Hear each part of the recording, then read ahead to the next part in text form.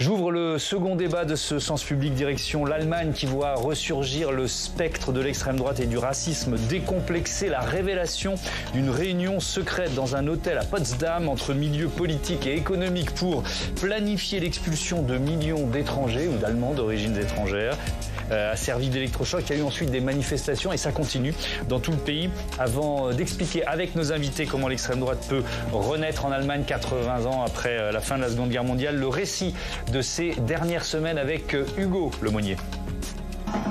La rue allemande, unie contre l'extrême droite, avec un chant de ralliement, tous ensemble contre le fascisme.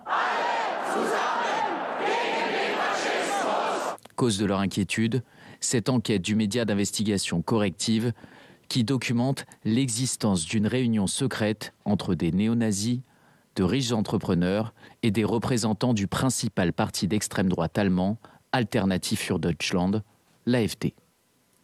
Leur but Planifier l'expulsion de plusieurs millions de personnes d'origine étrangère de l'Allemagne vers l'Afrique du Nord. Réaction épidermique de la société civile. Ähm, Je manifeste pour la première fois de ma vie. Je trouve ça vraiment effrayant ce qui se passe en ce moment.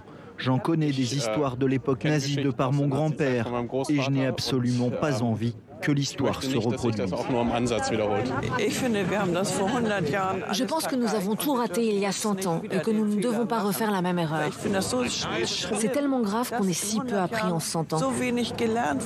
Une mobilisation historique, 1,4 million de manifestants au total, le week-end du 20 janvier. Le chancelier allemand Olaf Scholz alerte sur le danger de l'extrême droite. Je le dis clairement et sans détour, les extrémistes de droite s'attaquent à notre démocratie, ils veulent détruire notre cohésion.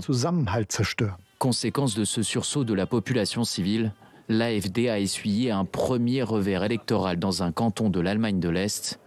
Pour autant, le parti d'extrême droite reste en deuxième position dans les études d'opinion derrière les conservateurs, avec environ 20% d'intention de vote. On a vu une salve de sondages menés les dix derniers jours montrant que euh, le potentiel électoral de l'AFD semblait se tasser un petit peu de peut-être deux ou trois points. Bon, euh, à voir si euh, cela se confirme lors des prochaines échéances électorales. 2024 sera donc une année charnière pour l'Allemagne, avec les élections européennes en juin et des élections régionales, notamment dans les Länder de l'Est, où l'AFD reste très implantée. L'Allemagne face euh, au retour de l'extrême droite, c'est le thème de notre débat avec euh, Hélène Miard de la Croix. Bonsoir. Bonsoir. Bienvenue, vous êtes professeur d'histoire et de civilisation de l'Allemagne contemporaine euh, à Sorbonne Université. Jean-Yves Camus, bonsoir. Bonsoir. Bienvenue à vous, vous êtes politologue, co-directeur de l'Observatoire des radicalités politiques à la Fondation Jean Jaurès, spécialiste des nationalismes et extrémismes en Europe. Britta Sandberg, bonsoir et bienvenue à vous aussi. Vous êtes correspondante du quotidien Der Spiegel magazine. Magazine. En, en, disant quotidien, je me dis, mais non, c'est pas un quotidien. Der Spiegel à Paris, pardon pour cette imprécision. Émilie Zapalski, évidemment, éditorialiste pour Sens Public, est restée à mes côtés. Peut-être pour démarrer, il y a beaucoup de thèmes à aborder dans ce débat. Euh, on a commencé à le faire là dans le, dans le sujet d'ouverture, mais le, le, poids politique de l'AFD, alternative pour l'Allemagne, vous en diriez quoi, vous, Hélène Mière de la Croix Quel poids politique aujourd'hui? Alors on peut mesurer le poids politique d'un parti de diverses façons. Mmh. On peut faire des sondages d'opinion, mmh. on peut mesurer les élections, on peut aussi voir euh, l'occupation de l'espace et l'occupation du, du, du, sujet. Mmh.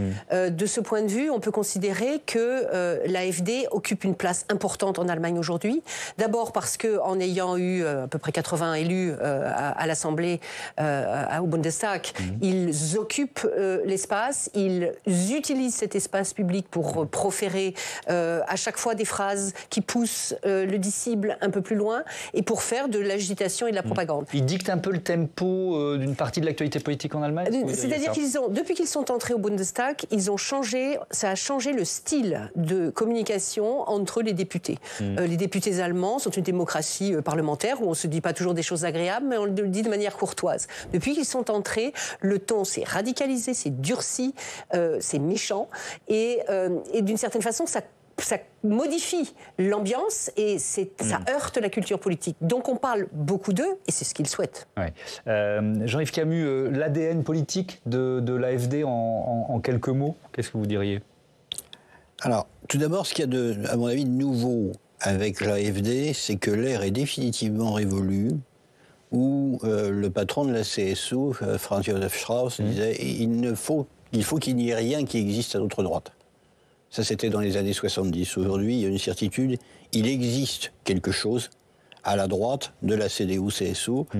et ce parti est effectivement un acteur, me semble-t-il, assez durable. je ne pense pas que le tassement sondagier que l'on mmh. voit actuellement euh, permette même s'il se confirme, de ramener cette droite extrême mm. à l'étiage qui été le sien euh, il y a, mettons, 10 euh, ou 15 ans. Ça me mm. paraît pour l'instant assez utopique. Quel est, quel est cet ADN ben, Elle est différente au départ, au lancement du mouvement, mm. euh, et, quelques années après. Quand le mouvement est créé, il est eurosceptique, il est partisan d'une sorte de euh, d'une sortie euh, de la zone euro et de mm. l'Union européenne. Les gens qui sont à sa tête sont économiquement des libéraux. Alors ce sont à la fois des conservateurs sociétaux et des libéraux économiques. Et puis survient un événement considérable qui est la crise migratoire de 2015. L'Allemagne accueille plus d'un million de, plus d'un million de, réfugiés, et ce, euh, non seulement avec l'assentiment mm. euh, de la chancelière Merkel, mais également euh, avec, j'allais dire, à son initiative. Oui, bien sûr. Elle est extrêmement, extrêmement, s'exprime très fortement sur les questions. Ça, ça a été un carburant politique pour, ça a été en tout cas, me semble-t-il, le début d'abord d'une forme de mobilisation mm. dans les rues avec le mouvement Pegida, avec les, les grandes manifestations d'une extrême droite qui descend dans la rue, ce qui en Allemagne n'est pas évident compte tenu du poids de l'histoire. Et effectivement, il y a eu au sein euh, du, Parti conservateur des, militants qui se sont dit, mais finalement, cette chancelière, elle n'est pas de notre camp, elle n'est plus de notre camp, mm.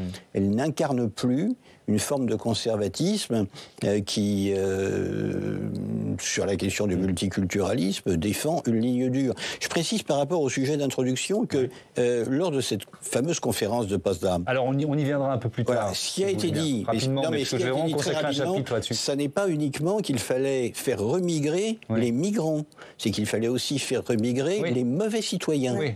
Qu'est-ce que c'est qu'un mauvais citoyen? On en reparlera tout à l'heure. Euh, Britta Senberg, euh, je crois que euh, l'AFD, donc cette extrême droite allemande, est plus puissante dans les Länder de l'Est, dans l'ex-RDA. Comment ça s'explique ça? Je crois qu'il y a plusieurs raisons. Ils sont effectivement, enfin, il y a maintenant trois élections à partir du mois de septembre dans trois Länder de l'ancienne RDA. Et ils sont en partie dans les sondages autour de 30%. Donc, ils seraient à la première place devant la CDU, CSU, devant la SPD, devant tout le monde. Mmh. Moi, je crois qu'il y a plusieurs raisons. Une raison est certainement qu'après 89, les Allemands de l'Est, qui vivaient dans un, dans un système très contrôlé, euh, mmh. voilà, euh, avaient un grand espoir de, de, vivre une démocratie, de pouvoir participer à cette démocratie, qu'ils croyaient une démocratie de base, et de pouvoir décider beaucoup de choses, ce qui concerne aussi leur vie. Et ils s'en sentent finalement, ils se sentent un peu exclus de cette euh, euh Je crois que oui. Enfin, il y a beaucoup. Il faut s'imaginer, il y avait tous ces gens qui avaient peut-être 40, 45 ans lors de la chute du mur. Et ils n'ont souvent pas retrouvé un vrai travail, puisque mm. euh, ils sont passés euh, du chômage à des, à des, formations, mais ils sont parfois passés après du chômage euh, dans une retraite. Donc c'est des, des, biographies un peu cassées mm. et puis des vies qui ne, sont, ne se sont pas finies forcément heureux. Il y en a d'autres aussi. Hein. Donc ça, c'est un premier point qu'il y a un mécontentement, il y a une, une, déception par rapport à la démocratie et les attentes étaient peut-être aussi trop grandes, exagérées. Après, l'antifascisme, enfin, en Allemagne de l'Ouest, euh, on a, moi, à l'école, euh, comme tous les jeunes, comme tous les adultes, on a beaucoup, beaucoup travaillé sur ce qui s'est passé lors du Troisième Reich, euh, l'histoire du national-socialisme, les dangers, tout ça. Donc, c'était vraiment. On même souvent, on cite souvent l'Allemagne en exemple dans sa capacité à avoir affronté son passé. Le, travail mémoriel en Allemagne a été vraiment, à l'Ouest en tout cas, c'est ce que vous nous dites, Il y avait un vrai travail. Tandis que à l'Est, c'était l'ordre donné, si, on peut dire, de, l'État, il fallait être antifasciste. Mm. Euh, bah, évidemment, ça faisait rien, rien n'est mauvais d'être antifasciste. Bien sûr, mais, c'était comme ça et c'était pas forcément argumenté, c'est ça? C'était pas par conviction, c'était mm, pour se positionner, se mm. différencier des, des autres. Donc, je crois que ce mélange de euh, aussi aujourd'hui d'une qualité de vie qui n'est pas forcément très bonne pour beaucoup de ceux qui sont restés en Allemagne de l'Est, qui vivent peut-être dans des petits villages où beaucoup de monde est parti, ils ne reconnaissent plus. Ils ont pas seulement euh, perdu leur travail, souvent, ils ont aussi mm, souvent perdu leur repère, leur mm. identité. Et ils n'ont pas su adapter on ne peut pas généraliser, pas tout le monde, mais pas tous, hein, mm. une nouvelle identité. Donc euh, c'est un peu peut-être le sentiment d'être mm. Pas écouté, euh, de ne pas compter comme on mm. le retrouve aussi en France. Hein. Vous vouliez intervenir un mot peut-être Oui, je voudrais rajouter quelque chose qui, qui, complexifie en fait la situation euh, dans l'ex-RDA, dans les nouveaux lenders, ça fait quand même 30 ans, 35 ans, c'est qu'il y a eu à la fois, donc il n'y a pas eu dans l'histoire de la RDA cette confrontation au passé, puisque l'explication qui était donnée, c'était de dire les nazis, ce sont les impérialistes capitalistes. Et donc, si vous faites partie du peuple, des travailleurs, mm. par définition, vous n'êtes pas nazi. Donc, mm. aucune confrontation. On a utilisé longtemps cet argument pour dire c'est la difficulté qu'ont donc les Allemands de l'Est à, euh, à se positionner vraiment par rapport à mm. cette culture politique qui rejette. Sauf qu'il faut rajouter aussi que c'est une population qui a vécu dans un régime qui avait une revendication quand même totale, pour ne pas dire totalitaire, et qui donc ont, ont une détestation de l'État. Et en plus, la révolution pacifique s'est faite sur le mythe du peuple qui, dans la rue, euh, en démocratie directe, arrive à renverser l'État. Et ça, c'est vraisemblablement des représentations qui durent et une hostilité par rapport à ce qu'ils appellent le système et qui est rejeté comme un, ensemble appartenant aux élites. Alors, on va rester sur ce travail mémoriel. Euh, j'avais prévu d'en parler un peu plus tard, mais c'est pas grave, c'est un thème qui est très intéressant. On, reviendra sur la réunion de Potsdam euh, juste après. Et je vous propose, avant de vous donner la parole, une archive là aussi. c'est Angela Merkel on est le 6 décembre 2019 et c'est sa première visite dans le camp d'Auschwitz comme chancelière. Regardez. Il est important de nommer clairement les criminels, nous, les Allemands. Nous le devons aux victimes et à nous-mêmes. Se souvenir des criminels, nommer les coupables et garder un souvenir digne des victimes, c'est une responsabilité qui ne s'arrête jamais. Elle n'est pas négociable et elle appartient inséparablement à notre pays. Être conscient de cette responsabilité fait partie de notre identité nationale. Euh, Jean-Yves Camus, est-ce que ce travail dont on parlait, le, travail mémoriel, euh, il, trouve son prolongement en quelque sorte dans une surveillance accrue des milieux d'extrême droite, plus que dans d'autres pays d'Europe? Ce qui est très intéressant pour nous, Français, c'est que non seulement la surveillance est forte mmh. par l'Office de protection de la Constitution et, et, évidemment par les services de renseignement, mais encore qu'elle repose sur des définitions qui je ne vais pas dire sont exactes, mais qui ont au moins le mérite d'exister. Alors que mm. nous, en France, on est, euh, un coup, on dit ultra-droite, l'autre coup, on dit extrême-droite, on a un petit peu tendance à mélanger tout. Si vous regardez ce document merveilleux qui est le rapport annuel de l'Office euh, de protection de la Constitution et qui est disponible en anglais, mm. euh, vous verrez que ce panorama de l'ensemble des extrémismes, hein, extrême gauche, extrême droite, islamisme, est fondé sur un travail de définition qui est élaboré en liaison avec les scientifiques, en liaison avec les universitaires qui travaillent sur ce sujet, mhm. et que, par exemple, la droite radicale et l'extrême droite sont deux catégories, j'allais dire, non pas constitutionnelles, mais légales, qui sont différentes, qui entraînent un système de surveillance et de sanctions mhm. différent, et que tout ça repose quand même sur euh, l'idée que ce phénomène est suffisamment sérieux, non seulement dans la mémoire, mais dans l'actualité, pour qu'on y consacre non seulement euh, j'allais dire, un travail intellectuel important, mais qu'ensuite, la population entière, par le biais notamment euh, d'un office fédéral chargé de, alors on dirait l'éducation civique en France, euh, pour que l'éducation civique soit faite sur ces sujets, pour qu'il y ait des documents, des livres, des brochures destinés à l'ensemble de la population qui permettent non seulement de transmettre par l'enseignement, mmh. mais de continuer à transmettre aux populations qui sont sorties du système scolaire. Alors, évidemment, c'est le résultat de l'histoire. Euh, mais même lorsqu'on n'a pas la même histoire, euh, et la nôtre n'est pas non plus totalement euh, blanche, hein, il faudrait, à mon sens, s'inspirer mmh. des mécanismes juridiques, du travail de définition que les Allemands ont fait. Ce que nous ne faisons pas, nous. Je, reviens sur cette archive, peut-être avec vous, Britta Sandberg. On est donc en 2019. Angela Merkel, elle est chancelière depuis une douzaine d'années, 14 ans de... 2002, oui. Oui, donc bon, c'est... pourquoi elle attend aussi longtemps? Elle, y va pour contrer l'extrême droite ce jour-là? Je ne sais pas si vous en souvenez, mais moi, ça m'a surpris que, la, chancelière... C'est pas la première fois qu'elle s'est prononcée à ce sujet. Hein. Mais, mais, bon, nos hommes et femmes politiques ne vont pas tous les jours à Auschwitz non plus. Il a pas... Euh, non, je, enfin, je ne crois pas qu'il y avait euh, une intention particulière. Enfin, elle est allée euh, en Israël avant, donc. Oui, mais ce que je veux dire, c'est que 2019, la montée de l'extrême droite, on, ah. est, on est en plein dans ce, dans ce moment-là, donc elle se sent peut-être je ne sais pas quel terme employer, mais tenue de, réveiller un peu les consciences en, en, allant faire ce discours à Auschwitz Vous n'êtes pas convaincu Je ne sais, je sais pas, parce qu'en en fait, Angela Merkel est toujours restée très fidèle dans ses dans ses discours, dans sa mm. ligne droite. enfin, elle n'a pas toujours beaucoup dit, mais quand elle a dit quelque chose, hein, euh, enfin, moi, je n'y vois pas un manœuvre, euh, enfin, stratégique, vraiment planifié. Euh, peut-être qu'il y en avait, je ne sais pas. en tout cas, nous, on se sentait très longtemps à l'abri de tous ces mouvements mm. de l'extrême droite, bien qu'il y a eu, euh, dans les années 90, des attaques sur euh, des, des, foyers des, réfugiés mm. assez... Enfin, il y a, en 90, il n'y a aucun autre pays européen où il y avait eu tant de morts euh, pour des causes racistes que l'Allemagne, puisqu'il y a eu tous ces, tous ces foyers qui ont été mis euh, en feu. Mm. Donc, euh, c'est pas c'est pas totalement nouveau qu'on vit ça, mais en, comme mouvement politique, on a vu grandir le Front National, le bah, Rassemblement National en France, mm. et les mouvements populistes en, Italie. nous, on était, on pensait qu'on on avait la capacité de le contenir à 3, 4, 5 Et là, on vit quelque chose de différent. Alors, et ce qui déclenche effectivement ce cycle de manifestation, de mobilisation contre l'extrême droite, c'est donc ce, cette réunion dans un hôtel de Potsdam. Personne n'était censé être au courant, mais il y a des journalistes qui ont fait leur travail. 25 novembre dernier, rendez-vous entre des personnalités politiques, donc de ce parti dont on parle, AFD, euh, de groupuscules, on va dire plutôt néo-nazis. Il y a aussi des avocats, des médecins, des entrepreneurs assez riches, et aussi deux représentants de euh, l'aile droite de la CDU, l'Union chrétienne démocrate.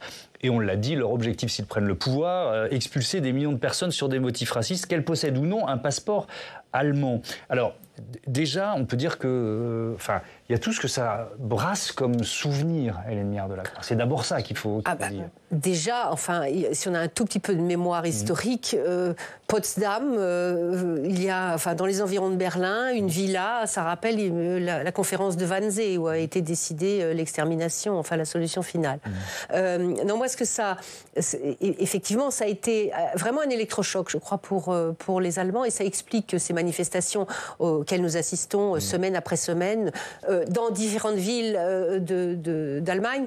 Euh, je crois que euh, ça a été une espèce de, oui, c'est ça, un électrochoc. Beaucoup de gens ne, le, ne croyaient pas possible cette capacité conspirationniste et surtout le degré de radicalité dans la détestation de l'autre. Parce que les Allemands aujourd'hui ont bien compris, puisque l'AFD existe depuis dix ans et elle s'est radicalisée progressivement et elle a surtout orienté son, discours vers la, la, xénophobie depuis 2015, se sont entre guillemets habitués à ce qu'on commence à dire du mal des étrangers et de, donc relayer un fond qui existe, qui, qui s'est manifesté dans les années 90 contre mm. les, sur les foyers, contre les foyers d'immigrés, mais qui avait aussi existé avec les républicains qui étaient dans les années 80, avec le NPD. Enfin, mm. mais on pensait qu'on était immunisé. Et là, euh, cette espèce de scène incroyable qu'on pourrait presque imaginer sortie d'un film mm. a été un électrochoc parce qu'elle a montré que le programme est radical y compris dans la, définition de ce qu'est l'autre. C'est-à-dire que le projet mm.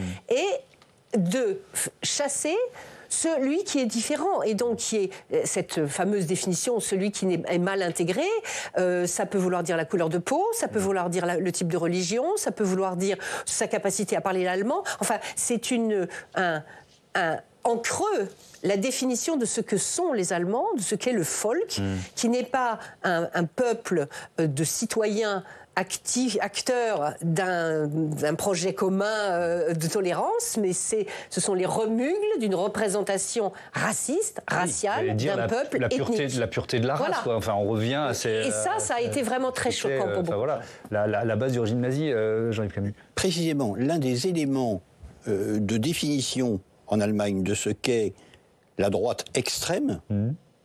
c'est euh, le fait d'avoir dans son programme quelque chose qui ressemble à l'abolition de la loi fondamentale et sa substitution mmh. par la communauté ethnique. C'est-à-dire on va rappeler la loi fondamentale, c'est 1949, c'est la Constitution. c'est la Constitution. C'est l'équivalent de la Constitution. C'est la Constitution. Euh, mais la Constitution, on la révise pas comme ça euh, tout le temps. C'est une sorte de pacte fondamental qui dure. Et parmi les critères qui font qu'un groupe est classé comme étant extrémiste de droite, bon, être radical de droite, vous pouvez.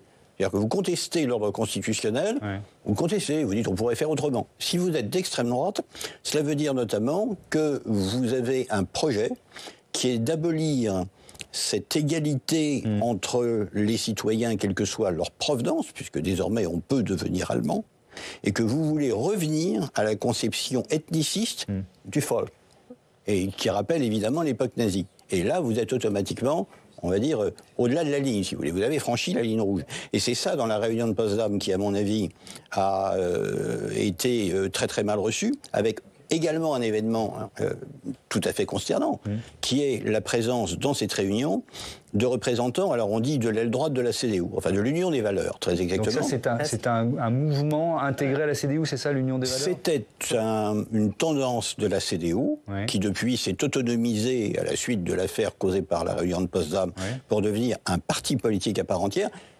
dirigé par mmh. l'ancien chef des services de renseignement allemands c'est là précisément que, si vous voulez, on dit il y, a quelque chose qui n'a pas bien marché.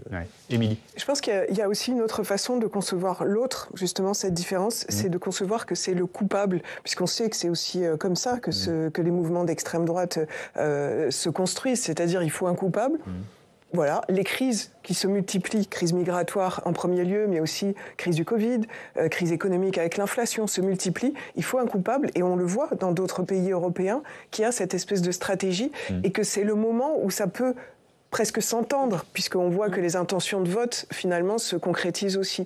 C'est un moment propice pour être dans cette stratégie euh, du coupable et de, voilà, de trouver cette solution qui est complètement fantasmée, puisque quand on voit Giorgia Meloni en Italie, elle n'a pas du tout pu appliquer hmm. tout ce qu'elle voulait en termes de politique migratoire ou euh, même de décrochement par rapport à l'Union européenne. ce qui est certain, c'est que des millions euh, d'étrangers ou d'Allemands d'origine étrangère, hein, encore une fois, se sont sentis visés. Certains vivent dans la peur, comme cette Française qui fait ses études à Stuttgart. Aujourd'hui, les gens comme moi ont peur en Allemagne. On lit ce qui se passe, on parle, on entend ce qui se passe. On entend que les gens comme moi ont peur, les juifs ont peur, les musulmans ont peur, les noirs ont peur. Et aujourd'hui, on voit toute cette solidarité. Alors ça, ça fait du bien au cœur. Je me devais d'être là, de montrer ma solidarité avec les citoyennes et les citoyens. Je devais être là. Voilà, et après la, révélation, donc là on est dans une manifestation hein, évidemment, mais après la révélation de cette réunion de Potsdam, le, le chancelier allemand Olaf Scholz a dit à la fois sa colère et son soutien justement à ces millions d'Allemands qui sont sentis visés. J'essaie d'imaginer ce que ressentent les plus de 20 millions de citoyens qui ont un passé migratoire. Ils savent, ces extrémistes de droite parlent de nous. Nous serions directement touchés par ce plan diabolique. Certains d'entre eux se demandent s'ils ont encore un avenir en Allemagne. C'est terrible. C'est pourquoi je tiens à vous dire à tous, vous êtes des nôtres. Notre pays a besoin de vous. Unser Land braucht sie. Vous êtes des nôtres. Voilà cette phrase importante d'Olaf Scholz. Jonathan Duprise, vous nous avez rejoint sur, sur ce plateau. Rebonsoir, parce que là, on est dans l'actualité. Ça date euh, d'hier. Le gouvernement allemand a annoncé euh, une batterie de mesures pour limiter l'influence de ce parti d'extrême droite, l'AFD. Absolument, euh, Thomas. Hein, le gouvernement se, savait attendu au tournant mhm. après ces manifestations qu'on a pu voir fleurir dans le pays. donc hier, la ministre de l'Intérieur, Nancy Fraser, a donc convoqué la presse et dévoilé une série de mesures pour lutter contre ce qu'elle a nommé la plus grande menace pour l'ordre démocratique. Alors concrètement, il y a 13 mesures dont je vous cite les principales. Mmh. Euh, vous allez les voir s'afficher. Il y a notamment euh, l'extension des compétences des services secrets allemands pour mieux juguler les réseaux et aussi leur financement, euh, les réseaux d'extrême droite bien mmh. sûr. Désarmer ces fameux groupuscules. Hein. L'autorisation de port d'armes par exemple pourra être retirée à une personne soupçonnée d'être affiliée à l'un de ces groupuscules. Mmh. il y a aussi Thomas l'interdiction de la venue de groupuscules d'extrême droite de l'étranger. En bref, vous l'aurez compris, l'ambition, c'est de détruire l'extrême droite euh, le plus rapidement possible. Et écoutez la ministre à ce sujet. Nous voulons détruire ces réseaux d'extrême droite. Nous voulons les priver de leurs revenus, leur retirer leurs armes. Nous voulons utiliser tous les instruments de notre État de droit pour défendre notre démocratie. Et je reprécise bien Thomas, donc ces annonces font suite à la fameuse réunion clandestine de Potsdam. Évidemment, on était en train de le, détailler. Et ça relance cette, cette question, cette interrogation. Peut-on euh, interdire ce parti Peut-on interdire l'AFD C'est une question brûlante hein, qui divise mm. la société euh, allemande. Thomas, cette il y a une pétition, par exemple, qui a été signée par 800 000 personnes qui réclament l'interdiction de l'AFD. Il y a aussi des députés qui battent la campagne pour interdire le parti. Mais est-ce qu'on peut vraiment interdire un parti qui, fait 20%, qui pèse 20% de, de l'électorat? Alors, la Constitution allemande, certes, le permet. Euh, si jamais euh, il, est, il est établi qu'il y a une sorte de péril, en tout cas qu'un parti menace l'existence de la République, mais le lancement de cette procédure d'interdiction a déjà été mis en place par le passé, vainement, et ce processus est très long, très tortueux, et il pourrait même s'avérer contre-productif selon certains spécialistes. Écoutez. Il y a déjà eu des tentatives d'interdiction de l'ancien parti d'extrême droite qui est le NPD, qui ont échoué deux fois, dans les années 2000 puis, puis en 2017. Euh, donc, il y a évidemment une crainte du politique de lancer une procédure qui serait retoquée par les juges et qui pourrait être ensuite remobilisée politiquement par l'AFD en disant, ben, vous voyez, nous, on est vraiment des démocrates parce que le juge constitutionnel a interdit notre interdiction. Et Thomas, il y a un récent sondage euh, allemand qui a montré qu'il y avait un léger tassement dans les intentions de vote, mm. en tout cas euh, de l'AFD, qui passerait de 23 à 21% euh, après ces manifestations donc. Mm. Mais le parti reste très populaire en Allemagne et pourrait compter 60 000 encartés d'ici la fin de l'année. Mm. Merci beaucoup, Jonathan. Alors, on, va se poser une question ensemble. Est-ce que c'est possible d'interdire ce parti politique? Britta Sandberg, votre avis pour commencer bah, comme, euh, euh, comme il a évoqué, il y a deux, deux, écoles, deux camps. Il y en a aussi le, le, chef du parti de la SPD, donc des sociodémocrates, mmh. qui a fait des, pas dans ce sens-là. il faut interdire. Tout d'abord, il faut savoir ça peut durer des années. Donc c'est de toute façon pas une solution mmh. euh, immédiate. Et il y a l'autre camp qui dit euh, non, il faut euh, les battre au niveau des contenus, euh, il faut, faut, les, faut les combattre par un travail politique, hmm. puisque si on, si on, si on fait l'interdiction, on va, ça va produire l'effet contraire, c'est-à-dire que les gens vont encore plus se solidariser avec ce mouvement. Hmm. Les gens à l'Est vont dire Ah bon, bah, il y a à nouveau interdiction, on pensait qu'on vivait dans un, dans, un, dans un État libre. donc, moi, j'y crois pas trop. Enfin, de toute façon, ça va pas changer dans l'immédiat. Mm. D'ailleurs, moi, je crois pas trop non plus que les votes vont baisser par, euh, euh, après les manifestations. Oui, il y, a un petit tassement dans les sondages, mais. Oui, euh, mais Bon, il y a La question va se poser là aux élections euh, Oui, mais on a, hein, eu déjà un petit échantillon le week-end dernier. À Berlin, il y avait, euh, pour des raisons de procédure, il, faudrait, il fallait revoter euh, des, des, des, élections régionales à Berlin. Mmh. Et l'AFD était le seul parti qui a gagné en voix. Donc, euh, donc moi, je ne suis pas sûre que ça, va, mmh. que ça va avoir des effets. Il y a peut-être ceux qui, qui, avant, étaient conservateurs et avaient réfléchi à, à, à voter AFD qui maintenant prennent leur distance. Eh, est-ce qu'il pourrait arriver au pouvoir? Tiens, on peut aller plus loin, parce que là je dis est-ce qu'il faut euh, l'interdire, mais est-ce que est-ce qu'on peut imaginer euh, que ce parti, c'est une question qu'on se pose aussi en France moi je, vais vous, répondre en deux temps, mais peut-être en complétant, parce que l'interdiction d'un parti en Allemagne, elle est très clairement fixée dans la fameuse constitution, mmh. Euh, l'article 21 alinéa 2, mmh. qui prévoit donc d'interdire un parti dont les objectifs et le comportement de ses membres visent à éliminer l'ordre démocratique. Donc là, ça laisse quand même au juge une surpièce. Mmh une relative euh, marge de manœuvre. Il pourrait y avoir une procédure. On utilise cet argument, et c'est là que c'est très pervers, de dire on a essayé il y a quelques années, c'était en 2017 mmh. si je ne me trompe, d'interdire le NPD, qui est donc le parti néo-nazi, qui s'est rebaptisé Die Heimat, euh, et n'a pas été interdit à l'époque, alors que les historiens qui ont donné les dossiers, qui ont analysé, parce que le travail est fait vraiment très très sérieusement, ont montré la similitude, l'appartenance, la proximité et l'identité de certain nombre d'idées et de comportements avec le nazisme.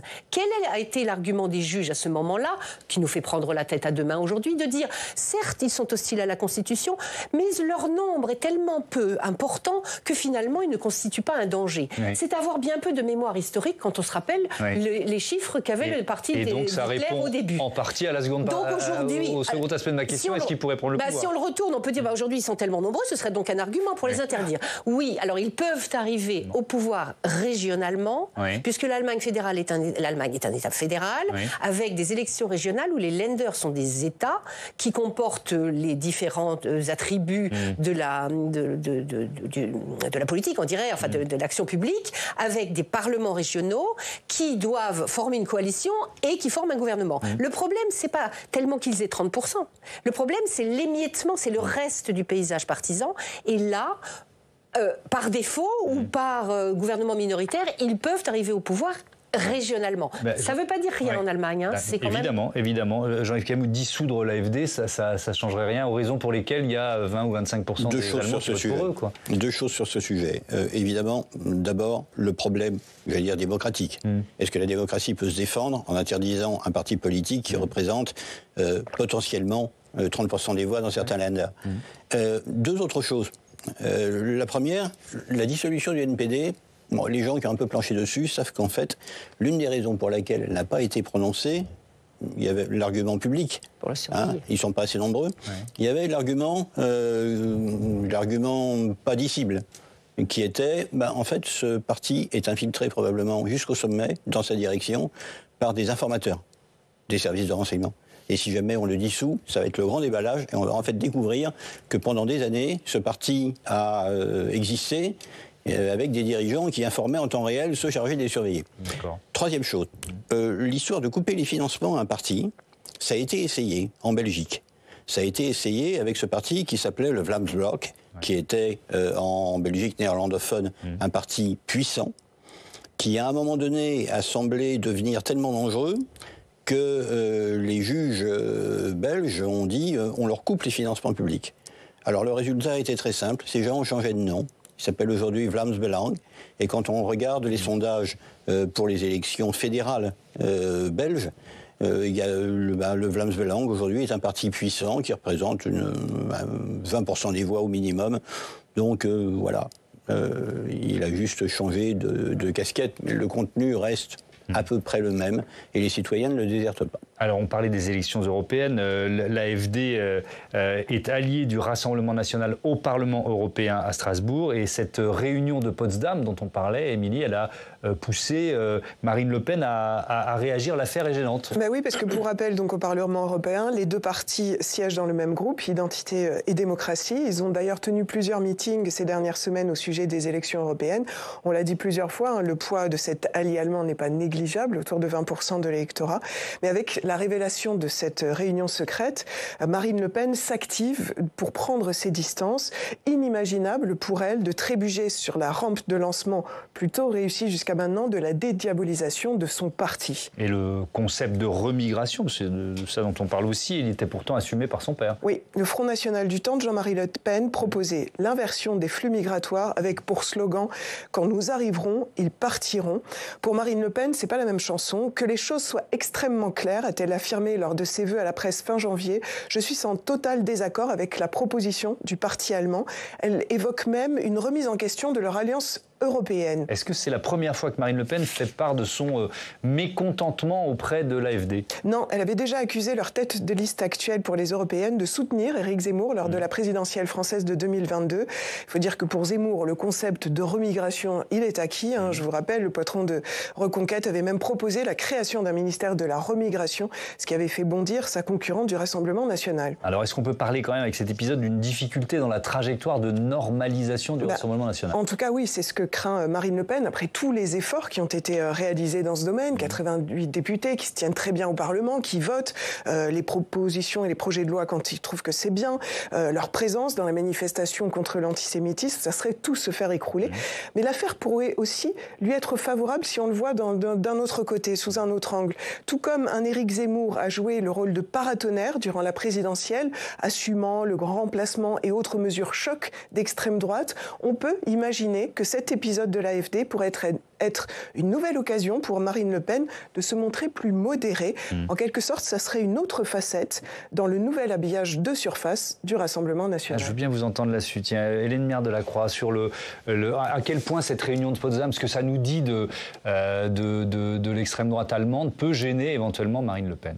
Ou au contraire, peut-être la servir, j'entends l'argument d'Émilie alors peut-être la servir, c'est très gênant puisque euh, en effet toute la stratégie de normalisation qui mm. d'ailleurs fonctionne puisque dans beaucoup de, micro-trottoirs les gens disent mais Marine Le Pen ça pourrait être ma voisine, ça mm. pourrait être ma cousine, elle est normale, etc. Euh, euh, serait bien mise à mal avec la révélation d'un fond d'un fond euh, idéologique qui est commun. Euh, cette le, le, fonctionnement par ami ennemi, de montrer euh, du doigt celui qui est coupable, qui est autre, qui ne s'intègre pas, et la, la, la, prétendue définition de tout le monde sait très bien ce que c'est qu'un bon citoyen, un bon Français. Le, le, Rassemblement national fonctionne en permanence dans le dans l'euphémisme. or là, les alliés allemands mettent des noms très clairs sur enfin, sur ce que l'on considérerait comme les, mm. bons Allemands ou les Allemands non intégrés. Donc de ce point de vue, je pense que c'est plus gênant pour elle et qu'elle euh, alors peut-être que d'aucuns vont suivre en disant ah oui mais elle elle est tellement tranquille et, raisonnée. Euh, je pense que c'est gênant. Alors on voit déjà parce que vous nous l'avez expliqué, il y a deux stratégies très différentes euh, euh, à l'Assemblée, hein, au Bundestag d'un côté donc le, ceux qui voilà créent de la conflictualité c'est l'AFD. en France à l'inverse les députés du Rassemblement national sont cravatés et les plus sages possibles. Est-ce que si, si, on compare, est-ce que le Front national puis le Rassemblement national ont pu servir de modèle à l'extrême droite allemande ou pas? Question est ouverte. Bon, il y a des sujets qu'ils ont en commun. Euh, donc le, plutôt anti-Europe, même si euh, le Rassemblement national ne veut plus sortir de l'Union mm. européenne, euh, plutôt anti-migrants, ça, ça les lie évidemment, et puis plutôt se faire avocat d'une classe moyenne ou d'une classe en dessous de la classe moyenne. Puisque c'est ceux qui ne sont pas vraiment écoutés. Et ça se retrouve certainement aussi dans l'électorat ou dans, les cibles de ces, de ces deux partis. Après, je crois que l'AFD s'est quand même beaucoup euh, constitué après 2015 en Allemagne et a pris une autre voie, euh, si c'est dans les, dans les choses qu'ils ont dit, qu'ils font euh, au Bundestag, donc dans notre Parlement. tandis que Marine Le Pen, maintenant, je crois qu'elle a même plus besoin d'occuper les, ces sujets d'immigration. Mmh.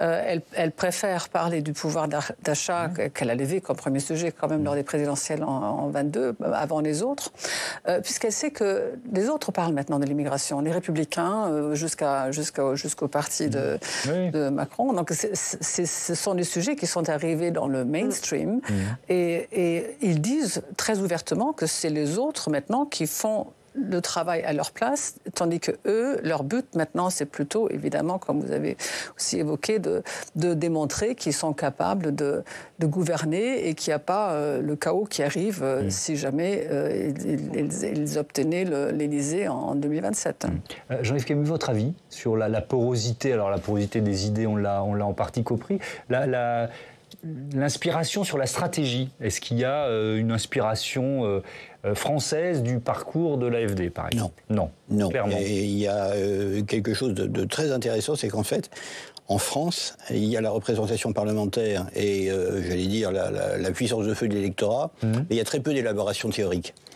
En Allemagne, quand, on, quand on veut chercher, on voit qu'en fait, il existe pas mal de petites revues théoriques de, de la droite extrême qui sont intéressantes, qui sont bien faites. Il y a un hebdomadaire qui s'appelle Junge Freiheit, qui est mm. achetable dans tous les kiosques, mm. qui est un hebdomadaire de très bon niveau, très intéressant à lire, qui va euh, éventuellement euh, interroger des personnalités du camp d'en face, euh, dans des sortes d'interviews confrontations. Mm. Il y a tout un travail de, de, de recherche historique, de publication, qui a servi, à mon avis, de substrat assez souterrain à tout ce qui est en train de se passer et qui n'a pas échappé à l'œil des spécialistes, mais qui n'est pas nécessairement connu du grand public. En France, il n'y a pas tout ça. Je rappelle que le Rassemblement national n'a pas d'organe de presse. Hmm. Et la théorie, finalement, elle est euh, assez absente. Elle est remplacée par une, euh, une euh, attitude extrêmement pragmatique de Marine Le Pen et de l'ensemble des parlementaires qui ont été élus en 2022, dont l'objectif est d'être sur le terrain, de coller au plus près des problèmes des habitants. On a parlé de la question du pouvoir d'achat, qui effectivement est bah, celle que euh, les, électeurs des députés Rassemblement national évoquent le dimanche sur le marché quand le député est en circonscription. La théorie, elle est euh, très loin. Elle existait à l'époque de Jean-Marie Le Pen, il y avait encore des gens qui se piquaient de théories nationalistes. Mais finalement, le Rassemblement national aujourd'hui, c'est quoi sinon une forme de bonapartisme ou de boulangisme adopté au XXIe siècle? Il y a une autre différence qui est quand même majeure, c'est cette capacité de mobilisation de la société allemande depuis que la réunion de Potsdam a été, euh, révélée. Je voudrais qu'on vous montre une sorte de kaléidoscope de, euh, de manifestations qui ont eu lieu. Euh, alors, il y en a eu des, dizaines. Là, on a, six grandes villes allemandes Berlin, Francfort, Hambourg, Stuttgart, Munich, Potsdam évidemment aussi, jusqu'à, selon les organisateurs, 350 000 manifestants le 21 janvier à Berlin. Hélène Mière de la Croix, qu'est-ce que ça dit quand même de... Euh, voilà, est-ce que c'est historique, tiens, ce à quoi on assiste là? Alors, ce qui est historique, c'est la, je pense, la prise de conscience de l'existence souterraine de projets euh, qui euh, qui vont beaucoup plus loin que ce que les gens imaginaient, alors qu'ils peuvent très bien entendre les euh, responsables de l'AFD, en particulier Björn Höcke, qui est un ancien prof d'histoire venu de l'Ouest, qui est extrêmement radical mm. et qui mène, enfin radicalise aussi l'AFD en, en Thuringe et souhaiterait bien d'ailleurs arriver au pouvoir aux prochaines élections. Euh, euh, on avait l'impression que, enfin, d'aucuns avaient l'impression que c'était un peu marginal et que sa, sa violence verbale de, de remettre au goût du jour un certain nombre, de faire des provocations, comme faisait Jean-Marie Le Pen autrefois. Par exemple, il a fait euh, chanter un chant de SA disant l'Allemagne d'abord, enfin l'Allemagne, tout pour l'Allemagne, en disant mais moi je ne dis que tout pour l'Allemagne, sauf que c'est un chant de la SA qui est interdit. Voilà. Et, et que beaucoup d'observateurs, citoyens comme les autres, disaient ah oui, il y a une exagération. Mais là, cette révélation a, mis dans la rue vraiment beaucoup de gens. Alors, c'est pas nouveau. Il y a une tradition en Allemagne fédérale de, l'occupation de la rue où le citoyen se dit euh, euh, obligé de manifester euh, son, euh, son engagement, sa, sa, réprobation. Il y a eu euh, simplement, si on reprend l'histoire, en dehors de ce que vous avez évoqué, qui mm. est que dans les années 90, mm. en effet, on protestait contre les attaques contre les, mm. les, les, réfugiés, on descendait plutôt dans la rue en Allemagne, dans, dans les années 80, contre le, déploiement des euromissiles. C'était contre des projets extérieurs. Là, c'est vraiment, je veux défendre la démocratie de mon pays, comme l'ont dit les premières personnes interrogées dans votre reportage. Merci beaucoup. Merci à tous d'avoir participé à ce euh, débat. Je vous dis à, bientôt sur, euh, sur Public Sénat. Prochain rendez-vous, euh, Sens Public demain 18h, 22h. Et puis notez que l'invité de la matinale, Oriane Mancini, reçoit à 8h du matin Martine Vassal, la présidente de la métropole ex-Marseille-Provence. Belle soirée.